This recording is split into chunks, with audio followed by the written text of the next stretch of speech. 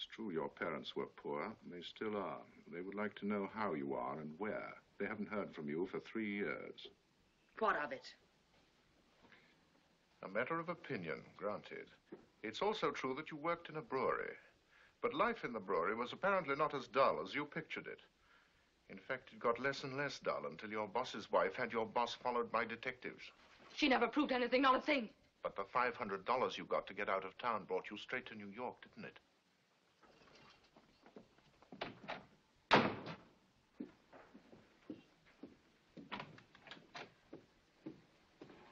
That $500 brought you straight to New York, didn't it? She was a liar.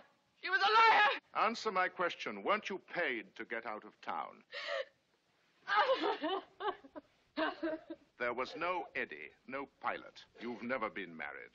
That was not only a lie, it was an insult to dead heroes and the women who loved them. San Francisco has no Shubert Theater. You've never been to San Francisco. That was a stupid lie, easy to expose, not worthy of you. I had to get in to meet Margot. I had to say something, be somebody, make her like me. And she did like you. She helped and trusted you. You paid her back by trying to take Bill away. That's not true. I was there. I saw you and heard you through the dressing room door.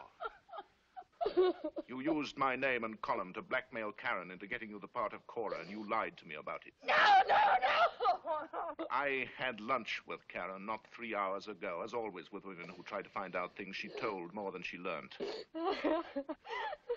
now, do you want to change your story about Lloyd beating at your door the other night?